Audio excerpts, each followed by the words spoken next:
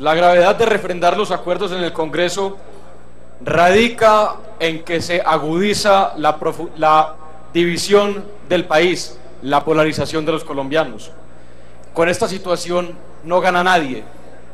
Se pierde confianza con la ciudadanía y se alcanza un acuerdo frágil y vulnerable. Diferentes congresistas de diferentes regiones han dado un argumento respetable e interesante.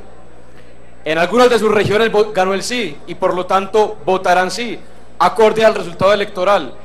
Pero ¿qué pasa con los congresistas donde en sus regiones ganó mayoritariamente el no y luego votarán sí en esta plenaria?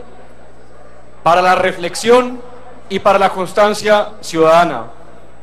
Cuando la desconfianza de la ciudadanía crece sobre las instituciones de la democracia, se abona el terreno para el populismo. Nadie gana con esta situación, además de la peligrosa amenaza de quienes hacen política con populismo y prometen lo que no pueden cumplir. Según la más reciente encuesta de Jan Haas, el 65% de los colombianos no está de acuerdo con que el Congreso de la República refrende el nuevo acuerdo de paz. Una cifra que refleja el estado de la opinión pública y que no puede ser desconocida. Vale la pena recordarlo una y mil veces.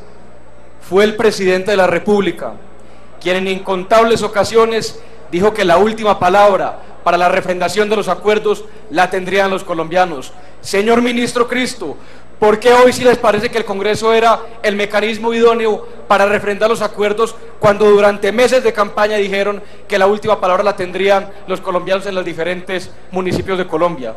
Y una reflexión final, señores congresistas, señores ciudadanos que nos ven a esta hora. Las FARC están integradas por algo más de 7 mil hombres y mujeres. Los colombianos que vivimos en la, legal, en la legalidad somos 48 millones. El país no se puede seguir dividiendo por satisfacer las exigencias de esta minoría.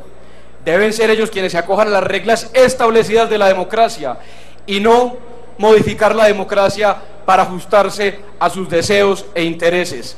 Así podrán alcanzar un pacto con las FARC, pero no la cohesión del país alrededor de este tema. Gracias, presidente.